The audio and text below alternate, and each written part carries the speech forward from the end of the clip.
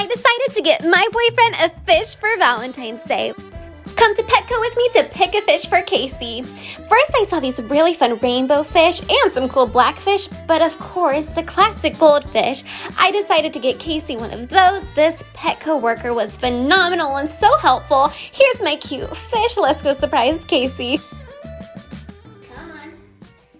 Uh, get a little shorter. A All right. Open. I got you a fish. Cool. Why? Out of all the fish in the sea, you're the one for me. Oh, okay. yeah, cute. Good, good.